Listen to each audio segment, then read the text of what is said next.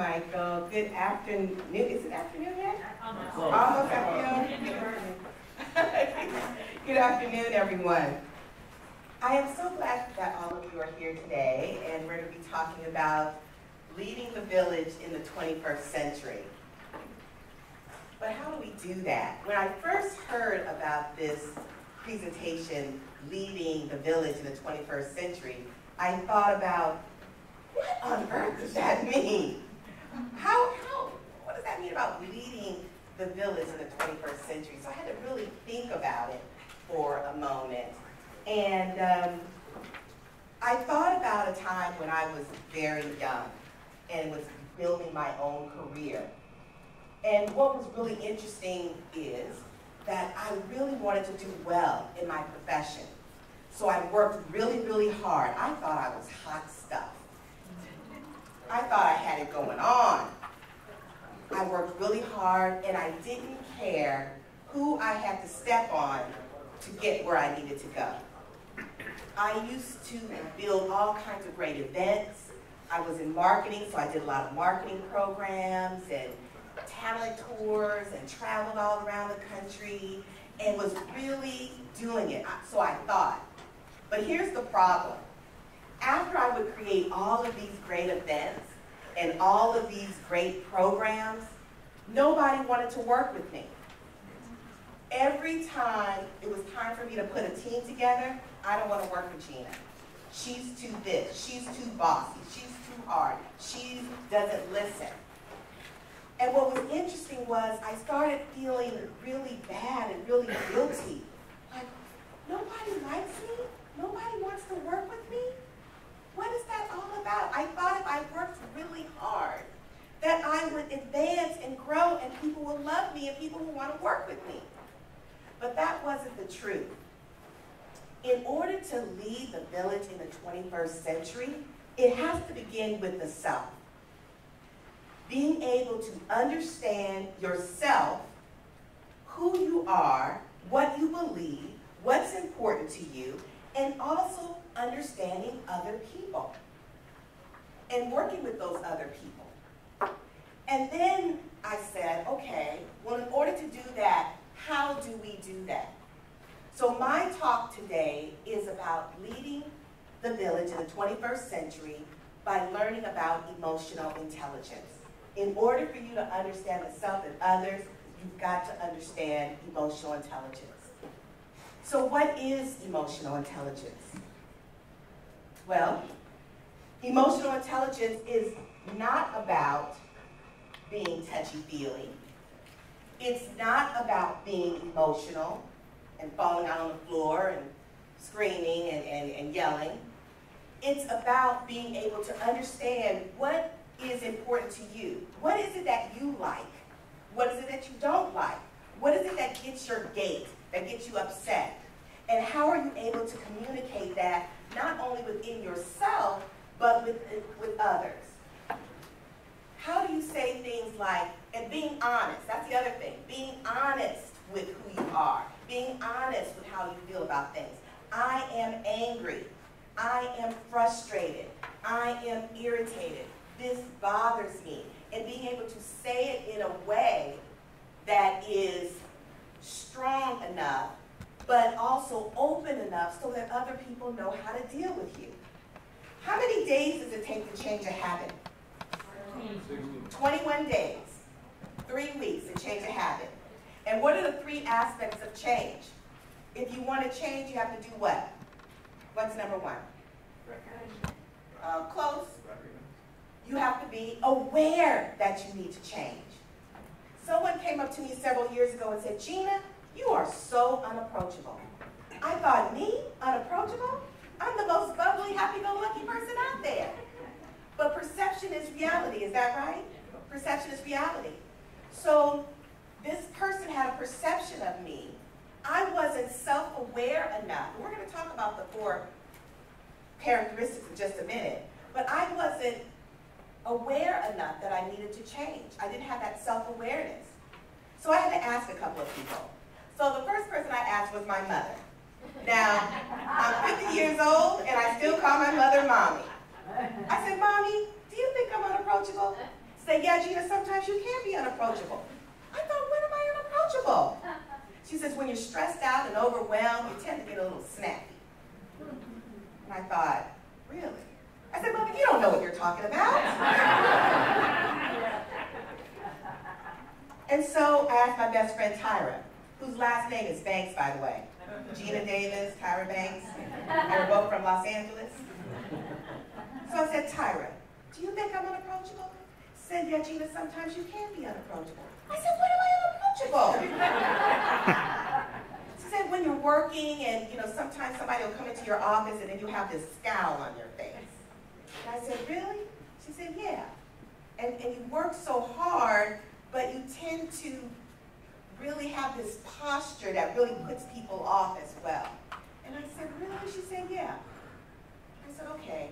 Then I asked a colleague, someone who wasn't necessarily my friend, but someone who I work with on a regular basis. I said, you know, Susan, do you think I'm unapproachable? Said, Gena, I think you're approachable. I said, really? She said, well, sometimes. Maybe, you need to work on it just a little bit. So 21 days to change a habit. So I had to be aware, then I had to be willing to change. That's the second. I had to be willing to change. And of course, I speak to audiences all across the country, and of course I had to be willing and motivated, right? So I was. And then I had to take action. What did I have to do to actually become more approachable? I had to smile more. I had to be more open. And I had to be willing to let people in and be able to ask questions and me to help them and, and, and show them that I'm, that I'm willing to care about their feelings, what they're trying to do. And that's what emotional intelligence is all about. It's all about understanding the self, who you are, and then being able to understand and work with others. Emotional intelligence goes back a lot of years. It goes back to, and I don't have time to go into a history lesson, all the way back to social intelligence with uh, Professor Edward Thorndike, but it became popular in 1995 with Daniel Goleman, who wrote the book, of course, Emotional Intelligence. So EQ versus IQ. So in order to lead the village in the 21st century, you have to know the difference between EQ and IQ. So IQ is what? It's your what intelligence? intelligence? Your cognitive intelligence, right? So what's interesting is with your IQ, people think, and I thought the same thing. I thought through my IQ, through my cognitive intelligence, through my functional abilities, that I will advance, that I will grow. But actually, there's some statistics here that says that for every EQ skill that you build, you add $1,300 annually to your salary. So people may not think that's a lot, but there are a lot of critical skills that's based on developing your emotional intelligence. So emotional intelligence is the predictor of your performance. Yeah, it's the predictor of your performance. EQ is how you get promoted, your IQ will get you the job, but EQ will get you actually promoted. And your salary goes up and up exponentially as you begin to build these skills, which is really important. Here's another statistic for you, that when careers get knocked off their path, 75% is that people lack critical emotional intelligence skills. They can't deal effectively with interpersonal problems. They can't reason. They can't make decisions. They have bad relationships with other people. People seem to not like them. What is that all about? There's conflicts, and they can't adapt to change, and people don't trust them. One other statistic, one of my favorites, is one that came from Seth Godin that says 15% of your success is your functional skill. That's through whether you're in marketing or operations or technology or whatever. 15% of your success is your functional skill. But 85% of your success is your ability to work with people. Okay? So, in other words, emotional intelligence is very, very important to your leadership success. And it's very important that we all learn what our emotional intelligence is all about. Okay, so these are the 14 scripts, uh, critical skills for success. We've all seen these, correct? You've all seen these, yes? Now, here's the rub. Without emotional intelligence, we can't do any of these skills. We can't do them well. So in the 21st century, you all think, okay, I get that, Gena, in theory, but how do I do it in practice? Well, we have to talk about what emotional intelligence is all about. Let's talk about the, the quadrants. Now, these are the key characteristics based on the Goleman model. I gave you also a handout just that gives you the model in there as well. Okay, so the key quadrants here are based on two competencies. Self-awareness and self-management are for your personal competencies. And social awareness and relationship management are your social competencies. So let's start off with the personal competencies. The first one is self-awareness. Self-awareness. What do you think self-awareness is all about? Any ideas? Self-awareness? Yes. I think it's about knowing your conscious and your unconscious. Mm-hmm. Yes. It's all about knowing your conscious and unconscious. Who are you? Who are you? What do you believe? What do you value? What's important to you? What gets you angry? What gets you irritated? What bothers you? It took me to the age of 40 to really understand who I am, what I believe, why I get angry, and what gets me upset. I didn't know that. I was very reactionary. Still am a little bit. Not going to lie to anybody.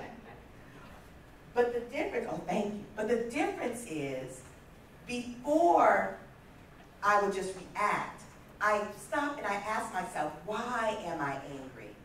Why is this bothering me? What is the deeper issue? For every root cause, for every problem that exists, there's a root cause. Do you take the time to ask yourself, what is the root? So there's self-awareness. Self-management is all about understanding your reactions in the moment. How many of you know when you're getting angry? How, only a few of you know?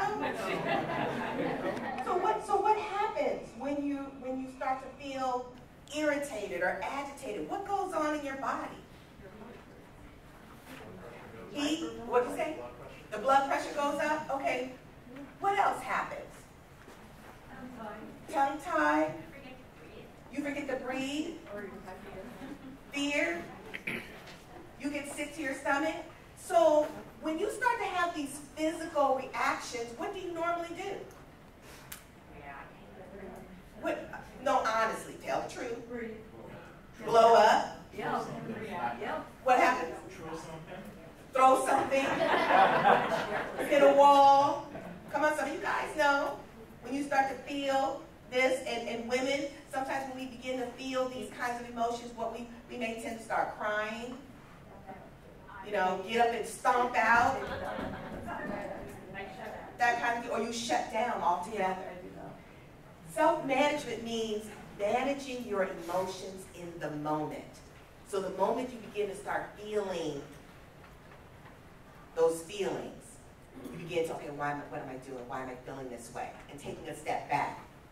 In self-management, there's also self-regulation and self-control. Also, one of the biggest qualities of self-management is self-motivation.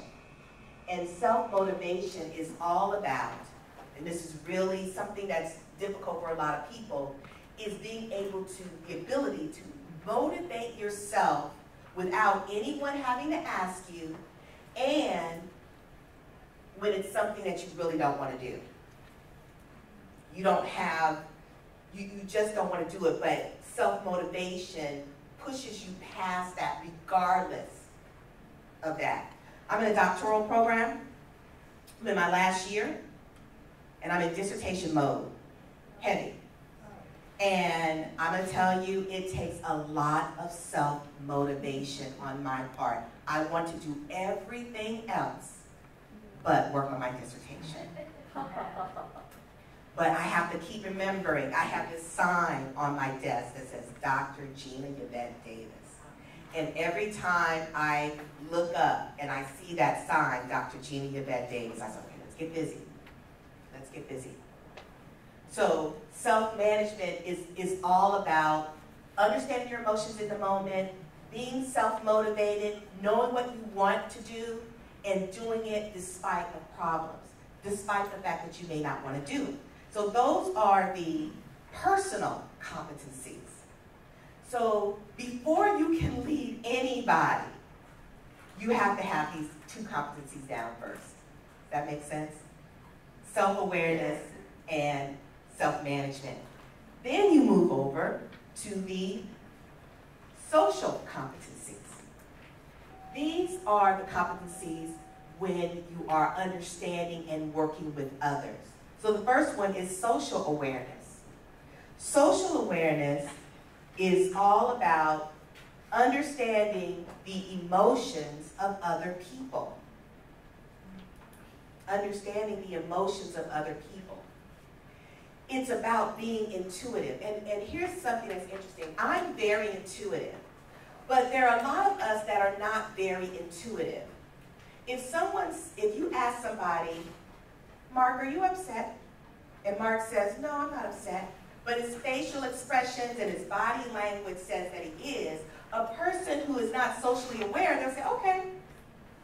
And then when Michael says, wasn't Mark upset? Well, he said he wasn't upset. You see where I'm going? So it's your ability to recognize other people's feelings, other people's emotions. Okay? Social awareness is key because what lies in emotional, uh, social awareness is empathy. We want to be able to practice empathy. And empathy is the idea of putting yourself in other people's shoes, being able to understand it. It does not mean that you have to agree with them. It doesn't mean that you have to agree, but it's for you to understand.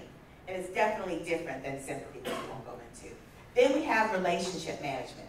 And relationship management is all about understanding yourself and understanding your others and bringing the two together so that you can be able to have effective communication. This is understanding people's personality style, communication style. I gave you guys a handout. We won't be able to go into that handout. This is normally a six-hour course. But I gave you guys a handout to understand behavioral styles. Once you begin to understand your behavioral style, then you can begin to understand the behavioral styles of others. What's the golden rule? Do unto others as you have done unto you. Why is that not a good rule? well, okay, that's, that's sometimes that's true. Because maybe what you want isn't what other people. Exactly. People don't want to be treated the way you want to be treated. They want to be treated the way they want to be treated. It's called the Platinum Rule by Tony Alessandra. Treat others the way that they want to be treated. Everyone is different. Everyone thinks differently, they communicate differently, they understand differently. Common sense is not always common. That's right. okay? So, exactly. So once you begin to understand that, then you can begin to build relation, build better relationships. Relationship management also has about building influence and being able to build positive relationships with others. But look at that sheet that I gave you on the behavioral styles and understand that. Again, um, if you want to know more about that, we can definitely talk about that at another time. So I just wanted to quickly give you a little neuroscience history here. On for some of you might be thinking that emotional intelligence, oh, it's so hairy fairy and so fluffy bunny. No, there's neuroscience behind it. Okay, so we have here the prefrontal cortex, and emotional intelligence is a balance between the rational and the emotional brain. So the free, prefrontal cortex is our cognitive part of our brain. This is the also known as the executive function of the brain. This is where we have our decision making. This is where um, our personality lies. This is where um, our social behavior, our decision making, our personality, everything comes from the prefrontal cortex of our brain. The amygdala is the emotional part of our brain. It's the emotional part. It governs all things emotional. So if we become upset, our brain, our amygdala actually becomes hijacked and we move into a flight or fight response. So, you know, when you start to feel those, those weird feelings where you're getting upset, or you're getting agitated and irritated, that's the amygdala being hijacked. And so when the amygdala is hijacked, what do you want to do? What, what should you do? You should breathe. You should step back. You should not go on the attack of someone else. If you're really frustrated or irritated or bothered by somebody, that is not the time to talk to them. You want to step back. You know what? I need five minutes. I need 10 minutes. I need 20 minutes. So the amygdala can calm down a little bit. Okay? So neuroscience says that this is part of the limbic system. So it's not something that is just made up. It is definitely our, our brain is affected. So we want to practice our emotional intelligence skills. We want to learn what the key characteristics are, and we want to practice. Because those people that have emotion, great emotional intelligence, if you have low emotional intelligence, you can learn to change them. Your IQ doesn't change. It, it's developed fully by the time you reach the age of 15, and it does not change. But your emotional intelligence can change. You can improve it with practice. You have to be what? You have to be willing to change.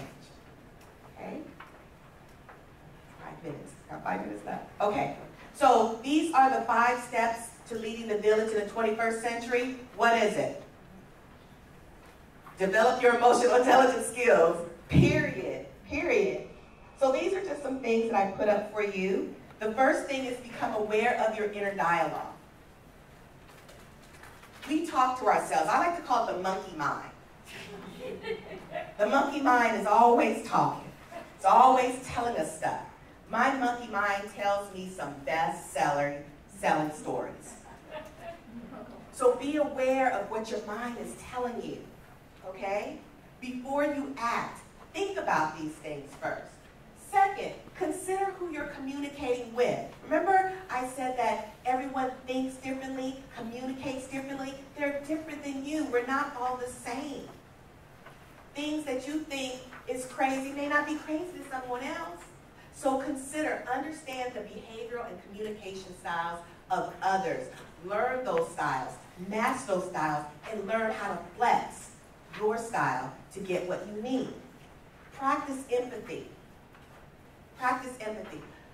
We all know what empathy is all about, but here's some suggestions. Get to know and start talking to people that you don't know. How many of you like to people watch? Okay? People watching is great because what happens when you people watch? What comes to mind? You start thinking about where that person might be going, what they're wearing, and sometimes we start creating stories about these people.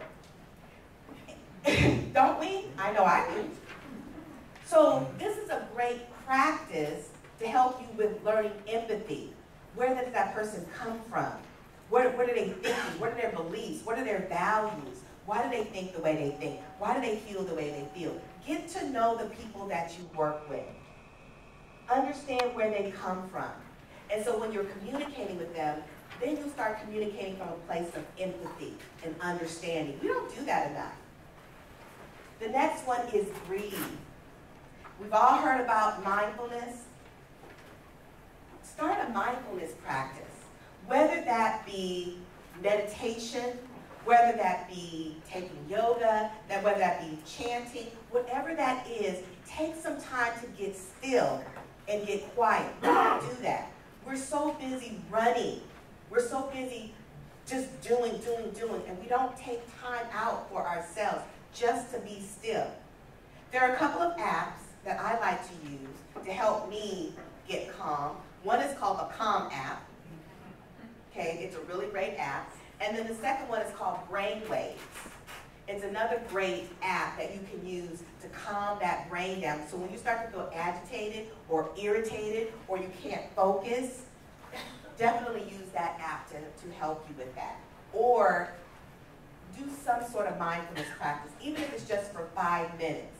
Because you'll be surprised how you're able to communicate with other people when you are calm, when you are focused. Okay? Third one is focus on the outcome. Stephen Covey, you guys all have heard Stephen Covey. Stephen Covey wrote the book Seven Habits for Highly Effective People. He says, begin with the end in mind. So focus on the outcome. What is it that you want? What is it that you're looking for? And then put a strategy together to get that. Okay? People love working with people who they trust, who they like, who they have a connection with. And you, each one of you, can build those emotional intelligence skills and lead the 21st century from a humanistic perspective. That's what this is all about. This is one of my favorite um, quotes. The whole is greater than the sum of its parts by Aristotle. Okay? Without emotional intelligence, without developing those emotional intelligence skills, all those hard skills that you know, marketing, operations, all those technical skills will not get you to that next level. Emotional intelligence is going to get you there. Okay. Does anybody have any questions? I'm on time, yay! Any questions? Yes. I was wondering if you had any quick tips on, you know, if people aren't giving you direct feedback, how do you develop that self-awareness and then that self-management? So that's a very good question that if you're not getting that feedback from, like when you say maybe your boss or something, if you're not getting that feedback, then try to get feedback from, from other people. So maybe a coworker, maybe a, one of your clients, or maybe someone from another department that you're working with on a regular basis. Get that feedback, see how you're doing. How many of you guys have all heard of uh, 360 assessments, right? Well, it used to be where you would give them to executives, but now more and more people who are line staffers or who are lower, lower level positions can do a 360 themselves. And by asking maybe three or three to five different people, hey, can you give me some feedback on my performance? Have them write it down for you and keep it in your file. This is a little tip. Keep it in your file so when review time comes, then you have some information, you have some evidence of the things that you're doing well and the things that you need to improve on, and then you can have that dialogue with your boss and be able to say, here's, here's some feedback that I'm receiving. Do you agree with the feedback? Do you disagree? Why or why not? It's called being pro